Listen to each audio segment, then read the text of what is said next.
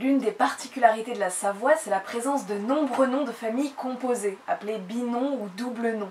On a des Blanc-Talon, des Millon-Rousseau, des Dupasquier d'Iménard, etc.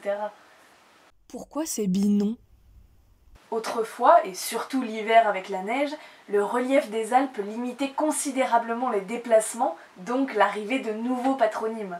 Des mariages plus ou moins consanguins ont tellement multiplié les homonymes qu'on a fini par ajouter un second nom derrière le premier pour distinguer les différentes branches des familles. On ajoutait le nom du hameau, le surnom d'un ancêtre, le nom de famille de la mère, un métier, le tout séparé par un tiré, par dit ou par rien du tout. Et l'ordre n'était pas toujours respecté. Comme l'indique Marion de Letras dans son guide Retrouver ses ancêtres savoyards, une même famille peut se trouver notée Bovagne dit Cadet, Cadet dit Bovagne, Cadet Bovagne, Bovagne Cadet, Cadet tout seul, Bovagne tout seul, sans compter les variantes orthographiques. Dans cet arbre extrait de son livre, on voit qu'une Jeanne Curte dit Dupraz est la fille d'un Curte, Curte tout court, et d'une Dupraz dit Brodaz, et que son grand-père s'appelait Curte dit Chiffé. Jeanne épouse un Claude Dupraz dit le Rouge, et leur fille garde le nom de famille complet du père. Mais le fils se nomme Dupraz dit le Curte, associant un morceau du nom du père avec un bout de celui de la mère. Allons-y.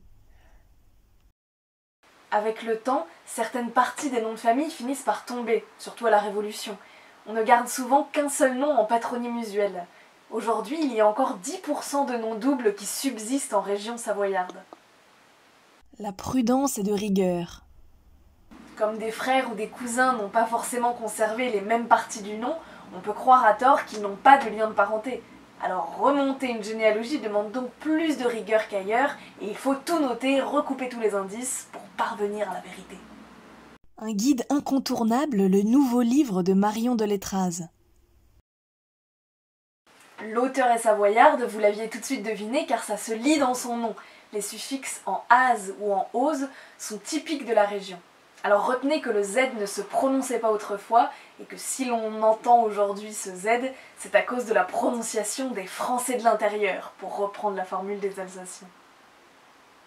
Alors vous l'aurez compris, grimper dans son arbre en Savoie, c'est un peu comme y faire de l'alpinisme, il faut s'accrocher.